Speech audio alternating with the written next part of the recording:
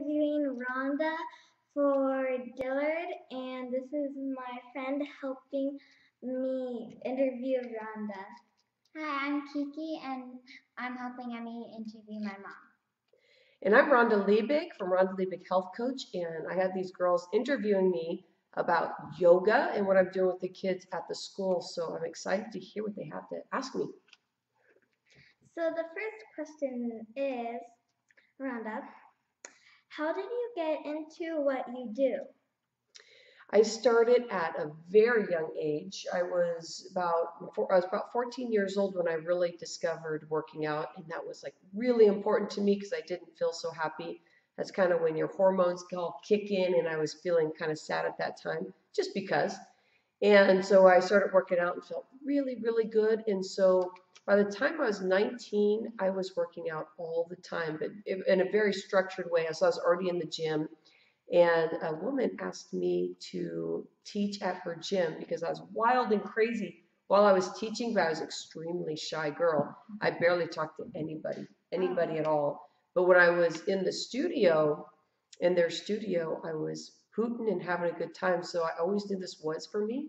So I got started that way, and then seeing people make changes has been a very big transformational, eye-opening thing that this is where I need to be. So the second question around it is, um, what does yoga do for your body? Good question. Actually, that's a big one, but let's go down to the basics of what happens. You know, yoga helps you get focused and be able to start listening to your body.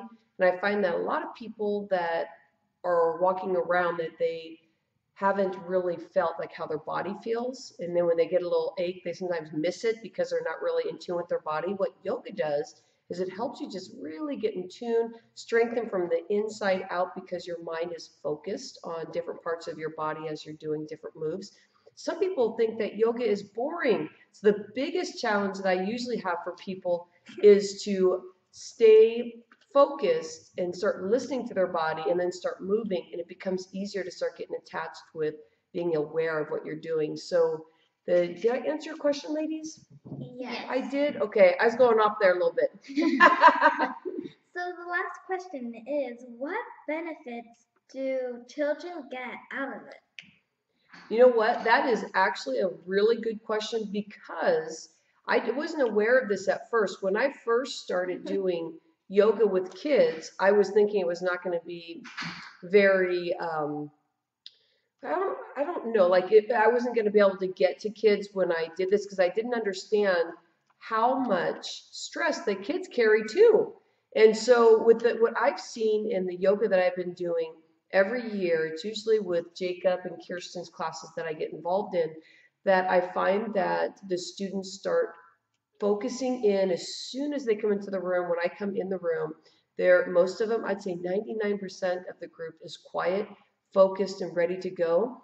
So it helps them learn how to focus and get control over what they're doing because I, I think sometimes when we're young, we don't realize how much more control we have over our body if we just start listening. So I help them listen to their body, help them learn that when they're stressed out, when the brother or sister is giving them a bad time, that they know how to bring in the calm so they're not like, oh, my brother, which I hear all the time.